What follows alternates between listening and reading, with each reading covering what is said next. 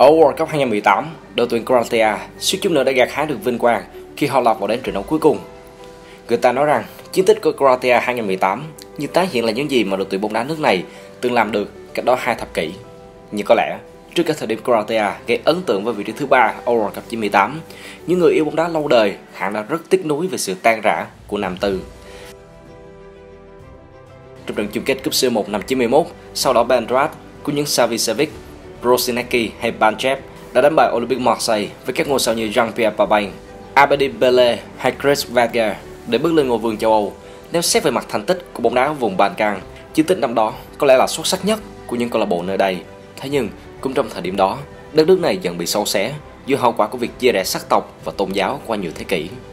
Một vấn đề bắt đầu khi Slovenia ly khai khỏi Nam Tư, mặc dù thực tế chiến tranh Nam Tư đã dần trở thành thuật ngữ chung cho các cuộc chiến ở vùng Balkan suốt thập niên 90.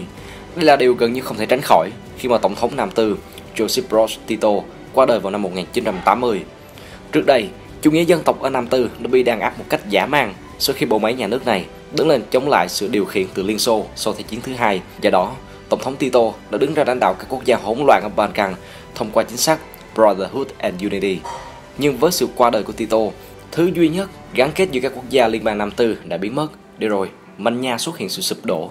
Đó là vào cuối những năm 1980, Slobodan Milosevic lên nắm quyền. Năm 1987, Milosevic đến Kosovo đã xóa bỏ tranh chấp giữa người Serbia và người Albania. Milosevic chính là người đã giúp thổi bùng chủ nghĩa dân tộc ở Serbia.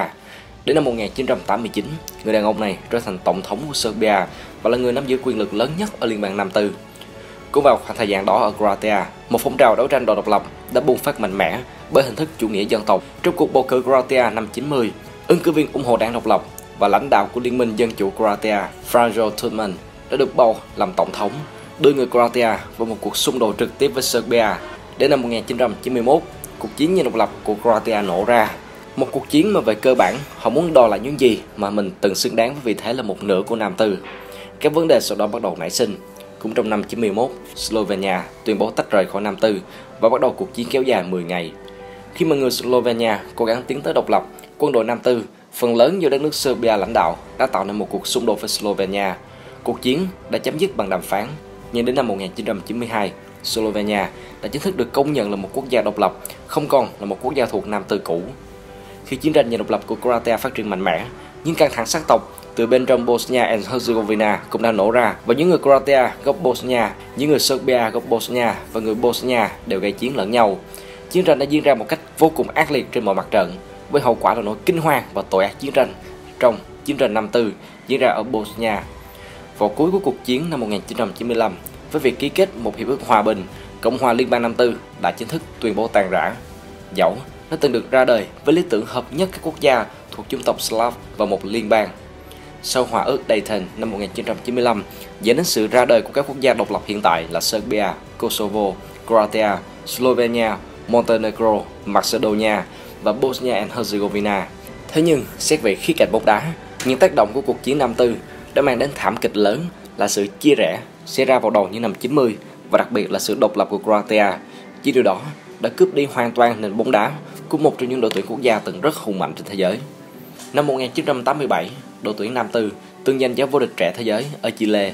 Ban đầu, đội tuyển trẻ nước này được gửi đi mà không mang theo nhiều niềm hy vọng về mặt thành tích. Một số cầu thủ chủ chốt như Alexander Dodevic, Igor Bereko, Dejan Vukicevic, Igor Petrovic, Seho Sabotic và Boban Boboski gặp xui xẻo khi gặp phải chấn thương và án treo giò, trong khi Sinisa Mihai, Vladimir Jugovic hay Alan Boskic đã quá tuổi để thi đấu ở giải đấu năm đó.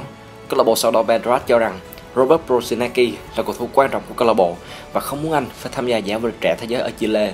Tuy nhiên, sau khi FIFA đưa ra phán quyết rằng Prosinecki được quyền ở lại thi đấu cho đội tuyển, cầu thủ này ngay lập tức trở thành một trong những cầu thủ xuất sắc nhất của giải đấu năm đó. Nhưng ai cũng hiểu rằng bóng đá không phải là môn thể thao một người. Bên cạnh một Prosinecki là hạt nhân của năm tư, đội tuyển này cũng được hỗ trợ bởi các cầu thủ như Zvonimir Boban, Davor Sugar, Robert Zani và Predrag Mijatovic. Bất chấp những kỳ vọng không quá lớn từ Liên đoàn bóng đá Nam Tư, những ngôi sao trẻ năm đó xuất sắc kết thúc vị trí thứ nhất trong bảng đấu của mình với sự góp mặt của chủ nhà Chile, Úc và Togo. Ở vòng tứ kết, Nam Tư phải đối đầu với một Brazil hùng mạnh. Mỉa mai thay, bóng đá Nam Tư trước đây thường được gọi là Brazil của châu Âu, nhưng chính Brazil bản châu Âu đã đánh bại Brazil phiên bản gốc với tỷ số 2-1 với những pha lập công của Mijatovic và Prosinecki.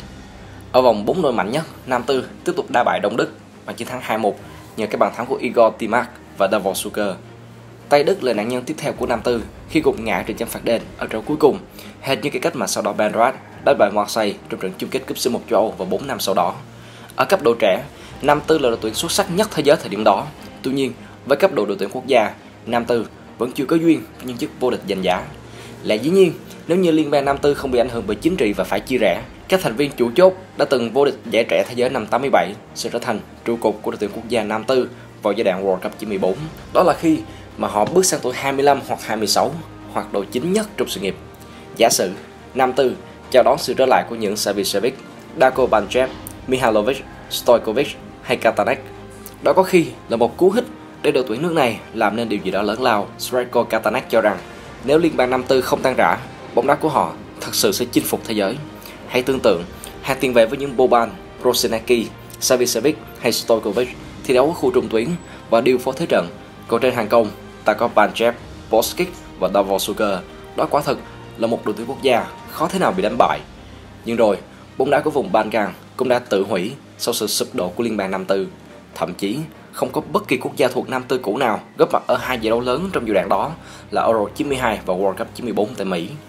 Tại World Cup 98 diễn ra ở Pháp, một cơn địa chấn thực sự xảy ra khi xuất hiện một chú ngựa ô của giải đấu, Croatia.